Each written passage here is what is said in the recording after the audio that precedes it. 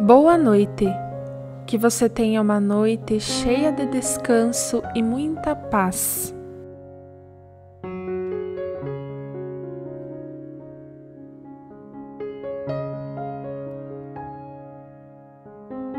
A noite é o momento que temos para relaxar e colocar os nossos pensamentos no lugar.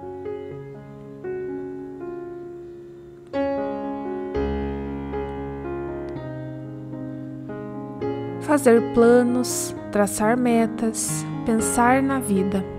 Faça tudo isso, mas também faça uma oração.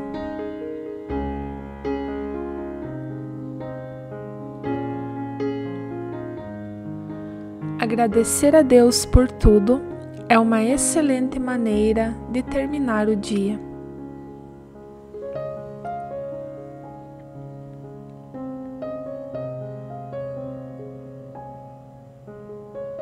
Tenha uma abençoada noite na presença de Jesus.